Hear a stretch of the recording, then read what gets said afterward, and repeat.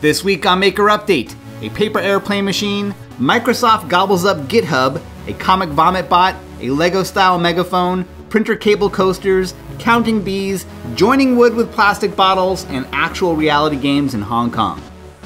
Hey, I'm Donald Bell, and welcome to another Maker Update. Man, I missed you guys. It's been too long, but it's been nice to have some time to work on projects and organize my studio a little. I also adopted a dog this week, so things have been really crazy but good crazy.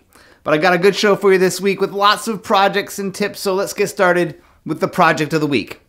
Jerry de Vos has a fantastic design for a laser cut plywood paper airplane machine. He calls it the Miss Flyer and he's installed it in the printer room where he works. This way, if there's any misprints, people can recycle them into airplanes. Mechanically, the machine does two things. First, it creates the triangle folds on the front of the plane by lifting the corners and then knocking them back. The second phase of the machine pulls up and shapes the wings.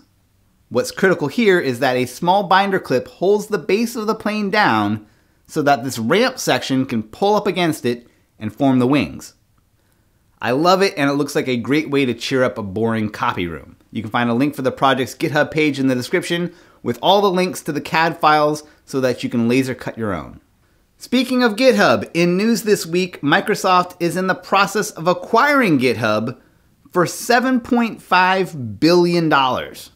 In a statement from Microsoft, the company said that GitHub will retain its developer first ethos and will operate independently to provide an open platform for all developers in all industries.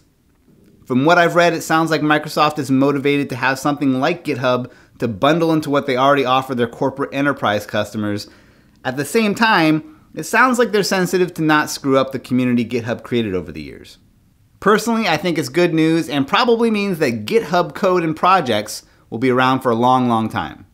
Time for more projects. Rapid fire. Cadin Batrack made a thermal printer robot that spits out randomly generated comics.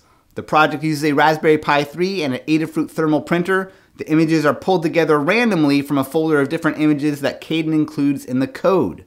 Processing 3 software running on the Pi mashes them up and spits them out if there's a particularly good combo that comes out, you can also hit a button to save a higher resolution version of it on the Pi. You can find links to the code and the build diary in the description. HP Biz made a life-size 3D printed version of this Lego Megaphone. The project uses a little pre-built amplifier kit, a toggle switch, and a 9 volt battery.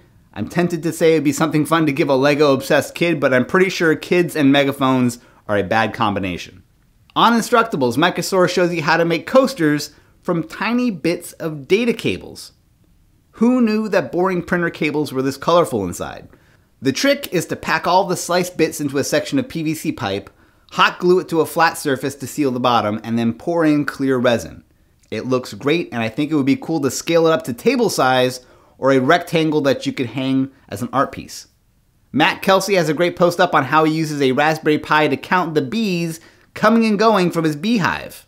I've seen systems before that use little bee-sized channels and IR sensors to count bees, but Mat takes a different approach. He's using a standard Pi camera to take one photo of the hive entrance every 10 seconds. The photos are then sent through a Python patch to count the number of bees in each image and graph the data over time. How cool is that? It's time for another cool tool review. This time we're going to take a look at the Komelon Gripper Speedmark 25 foot tape measure. I got this for around $9 on Amazon, which I think is a fantastic price for what this is.